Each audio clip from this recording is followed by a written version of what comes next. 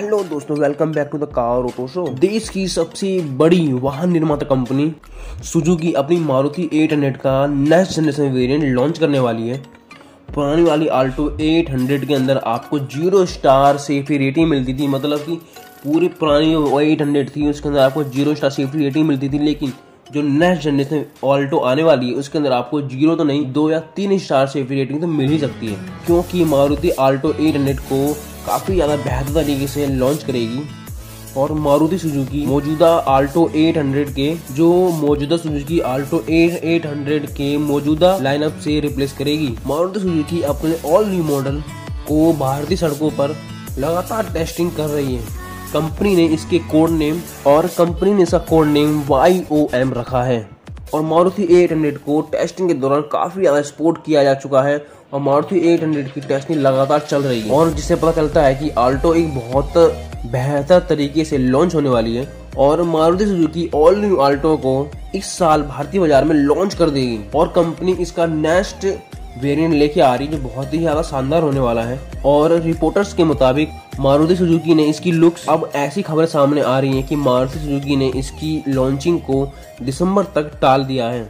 और बताया जा रहा है कंपनी इसको दिसंबर तक लॉन्च कर देगी। All new next generation Alto के अंदर आपको शानदार प्लेटफॉर्म पर इसको बेस किया जाएगा। और new Maruti Suzuki eight hundred को हार्ड टैग मॉडिफाई प्लेटफॉर्म के वर्जन पर बनाया जाएगा। और उसके साथ में इसके अंदर काफ़ी ज़्यादा हाईटेक फीचर्स भी दिए गए हैं। और न्यू मारुति एट हंड्रेड सिर्फ़ पेट्रोल इंजन में ही आएगी। अब जो नेक्स्ट जनरेशन वेरियंट आल्टो का लॉन्च होने वाला है, इसके अंदर आपको 1.2 लीटर का पेट्रोल इंजन देखने को मिलेगा, जो कि 30 या 25 किलोमीटर तक का माइलेज दे पाने में सक्षम होगा। और इसके अंदर आपको बिल्कुल नया सीएनजी ऑप्शन ही मिलने वाला, जिसका एवरेज आई थिंक 30 से 35 किलोमीटर तक का हो सकता है। और गियर बॉक्स की बात करें तो इसके अंदर आपको 5 स्पीड मैनुअल और 5 स्पीड ऑटोमेटिक ट्रांसमिशन देखने को मिलेगा।